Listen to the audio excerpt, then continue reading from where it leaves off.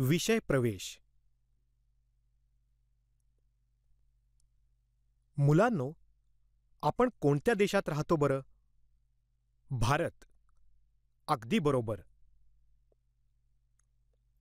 आपण कोणत्या राज्यात राहतो? अगदी बरोबर. आपण महाराष्ट्रात राहतो.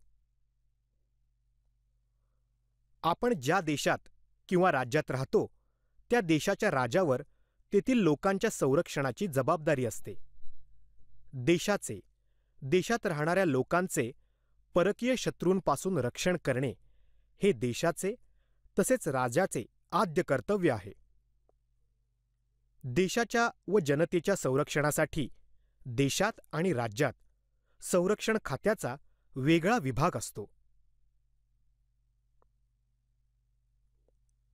संरक्षणाच्या या विभागात सैन्य दल नाविक दल व हवाई दल यांचा समावेश असतो. मुलांनो आपल्या व देशाच्या रक्षणाची जबाबदारी या तीन दलांवर म्हणजे सैन्य नाविक आणि हवाई दल यांच्यावर असते. हे सैनिक आपल्या जीवाची पर्वा न करता आपल्या देशाचे आणि देशातील लोकांचे रक्षण करतात.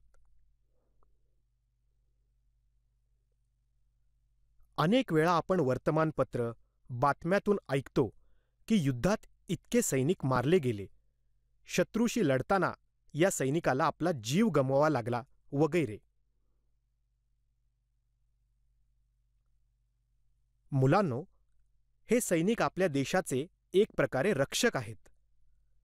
या सैनिकांमुळे आपण निर्धास्त आहोत. या रक्षकांमुळे देश सुरक्षित आहे.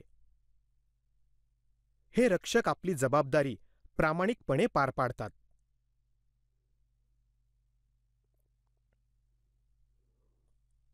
मुलांनो तुम्हाला आवडेल का असे सैनिक व्हायला आणि देशाचे संरक्षण करायला? अतिशय महान काम आहे हे.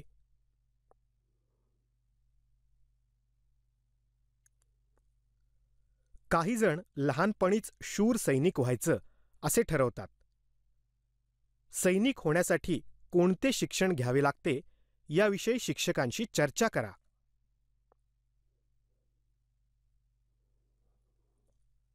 ज्याप्रमाणे आताच्या काळात सैनिक देशाचे रक्षण करतात त्याचप्रमाणे अठराव्या शतकात राष्ट्राची जबाबदारी मराठ्यांवर आली होती. या संदर्भात अधिक माहिती आपल्याला मराठ्यांच्या इतिहासाचा अभ्यास करताना मिळते. अठराव्या शतकात मराठे हे राष्ट्ररक्षक होते. पहिल्या बाजीरावाच्या मृत्यूनंतर सतराशे चाळीस नंतर शाहू महाराजांनी पेशवाईची वस्त्रे बाळाजी बाजीराव म्हणजेच नानासाहेब यांच्याकडे सोपवली. बाळाजी बाजीराव उर्फ नानासाहेब पेशवे हे पहिल्या बाजीरावांचे पुत्र होते. उत्तरेत पहिल्या बाजीरावांनी मिळवलेली सत्ता स्थिर ठेवण्याचे काम नानासाहेबांनी केले. अफगाणी बादशाह याने पानिपत या ठिकाणी मराठ्यांसमोर अनेक आव्हाने निर्माण केली होती. मराठ्यांचा विस्तार जसजसा होत होता तसतसे मराठ्यांचे शत्रू निर्माण होत होते. शत्रूंना धडा शिकवून राष्ट्राचे संरक्षण मराठे करत होते. संरक्षणाची जबाबदारी पार पाडता पाडता अनेक घडामोडी होत होत्या. मध्ययुगीन भारताचा अभ्यास करताना तत्कालीन घडलेल्या घटनांचा अभ्यास करणे आवश्यक आहे. राष्ट्ररक्षक मराठे कसे होते याचा अभ्यास आपण प्रस्तुत पाठातून पुढील मुद्द्यांच्या आधारे करणार आहोत.